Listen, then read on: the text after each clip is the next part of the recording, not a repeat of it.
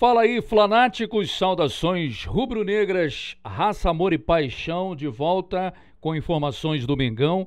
Se é a primeira vez que você está neste canal, convido você a se inscrever, ativar o sininho das notificações, deixar muitos likes para este vídeo e deixa também o seu comentário. Aproveita para se inscrever no nosso segundo canal aqui no YouTube, o Flanáticos é, FFC React, que é o canal de React aqui do Flanáticos Futebol Clube. Galera, uma informação de agora a pouco.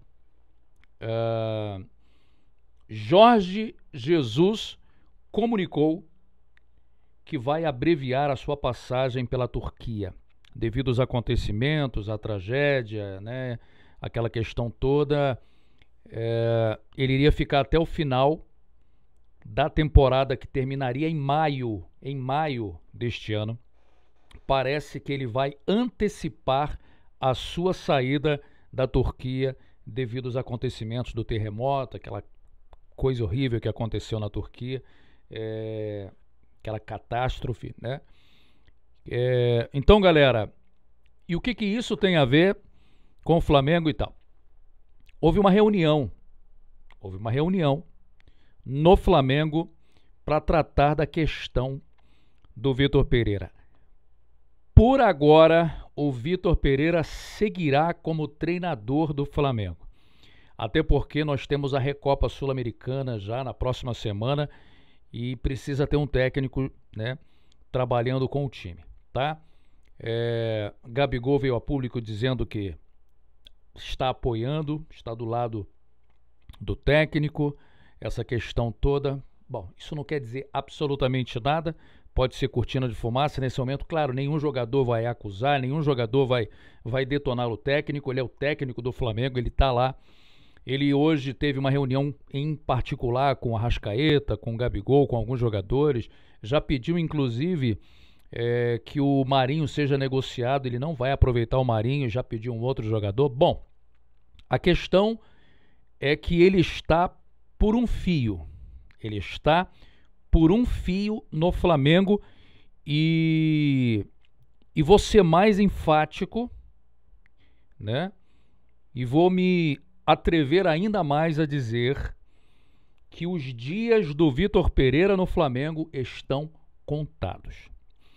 E se o mister Jorge Jesus se desligar do Fenerbahçe e antecipar de fato a volta, né, é, para Portugal a saída da Turquia, ele vai estar no mercado, tá? Cabe agora o Flamengo, né? É, ver o que, que ele quer, o que ele quer para o futuro do Flamengo, porque de fato, galera, vou ser muito sincero, eu não estou vendo um futuro promissor para Vitor Pereira no Flamengo. Eu já estou até mesmo preocupado com o campeonato carioca. Olha só a que ponto chegamos. Já estou preocupado com o campeonato carioca. Já não tenho essa certeza de que o Flamengo vai ganhar alguma coisa, não. Tem um grande time, mas o que, que adianta ter uma seleção nas mãos e tá fazendo tudo errado? Precisa achar aonde está o problema. E vou mais além. Eu assisti um vídeo do Galvão Bueno detonando não somente o Vitor Pereira. Ele o chamou, inclusive, de um homem de um caráter duvidoso, de mau caráter mesmo, na realidade, pelo que ele fez com o Corinthians, e foi mais além.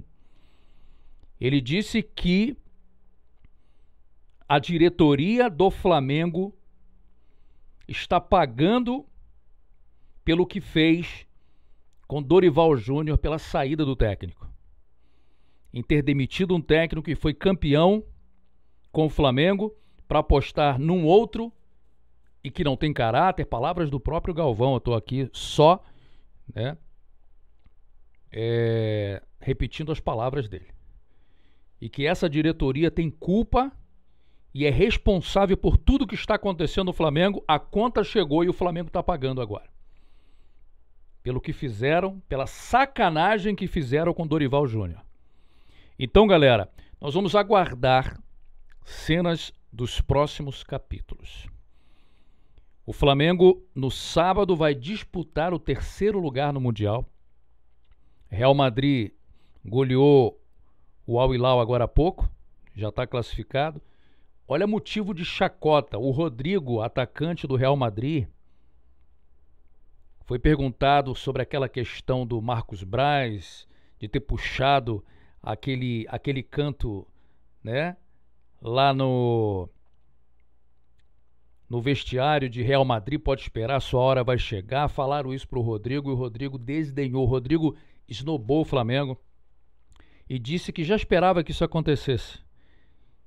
Eles não acreditavam que o Flamengo iria passar do Al Hilal e ele estava esperando uma final entre Real Madrid e Al Hilal já. Então, galera, Flamengo hoje virou motivo de piada motivo de chacota. Olha como começou o ano de 2023. Nós vamos aguardar cenas dos próximos capítulos para saber o que, que vai acontecer. Mas pelo andar da carruagem, o senhor Vitor Pereira ele pode cair a qualquer momento, independente de como vai ser a Recopa Sul-Americana e o andamento do Campeonato Carioca.